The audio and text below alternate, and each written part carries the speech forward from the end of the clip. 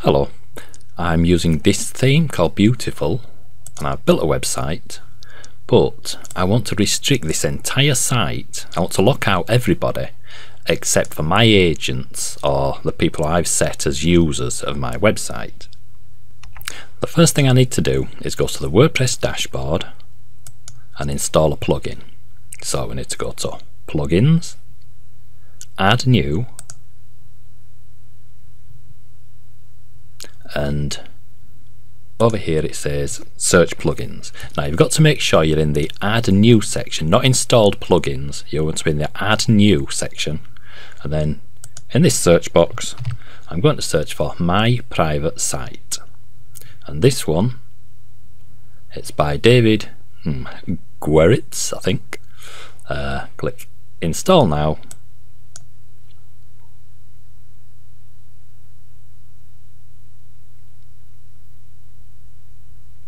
and I'm going to activate the plugin.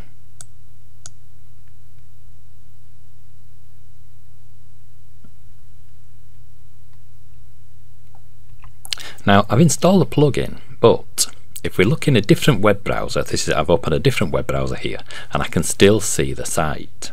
So if I clicked on a, a page I can still see this, this website. So I need to make some changes to the settings. So now I want to go to, in my WordPress dashboard, I'm going to go to plugins, installed plugins, because we've installed the plugin, and it's my private site. Now I activated it. If you haven't activated it there, it'll say activate instead of deactivate. So you'll have to activate the plugin and then click settings. Now there's quite a lot of settings, but the only one that we really need is this private site.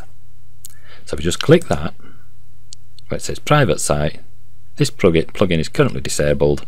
Click the checkbox to enable, then click Save Settings.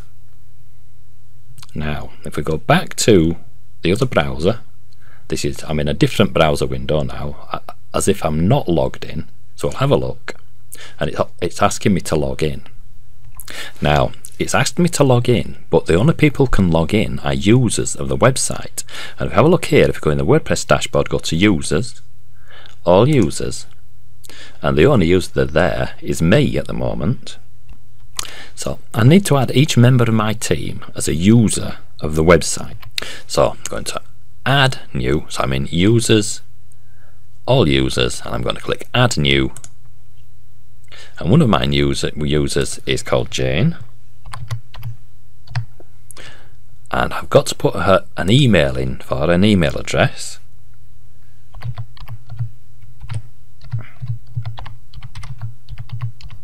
You'd put in the real email address there. Uh, you can put first name, last name. If they've got a website, you can put that there too. Now, I'm, I'm going to find the password because I um, I need to be able to log in. So I'm just going to normally this password you can send directly to the user or you can email it yourself. If you tick this box, WordPress will send it to the user um, if you don't tick that box, you can email the password to the user yourself. But this is important. This subscriber role here, where it says role, you want to choose subscriber. There's different options from this drop down list. But if you choose author or administrator, that gives the user power over your website. If they're a subscriber, all they can do is read the website, just look at it. So you want to choose subscriber. Be really careful there. Don't make them into a, an administrator because that means that they've got control over your website. So be careful. Make sure you choose subscriber. And then I'm not going to send the email because I'm on what's called a local development uh, website, so I can't send emails on this one. Uh, so I'll just now add a new user, and that's going to add Jane as a user to this website. So now, if we go back to the other website, we'll refresh that page. It's asking us to log in.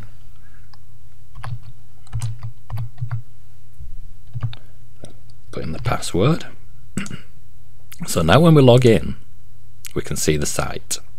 If you don't see the site straight away, there's a button up here that says dashboard. And you've got two options. You'll either see the dashboard or you'll see the site. So if you don't see the site, just click that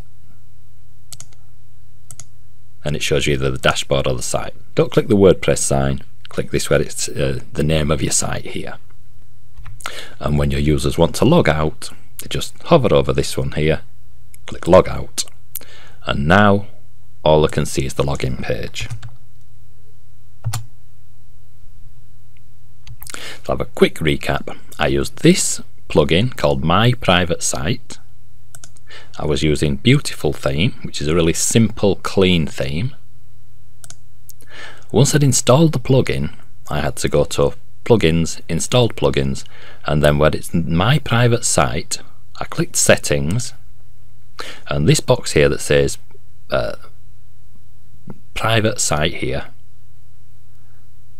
I clicked, I ticked the box and I clicked Save Settings, and then I had to add somebody as a user. I added someone called Jane as a user, and I made sure that the role was subscriber. Make sure your user's role is subscriber. Good luck and bye for now.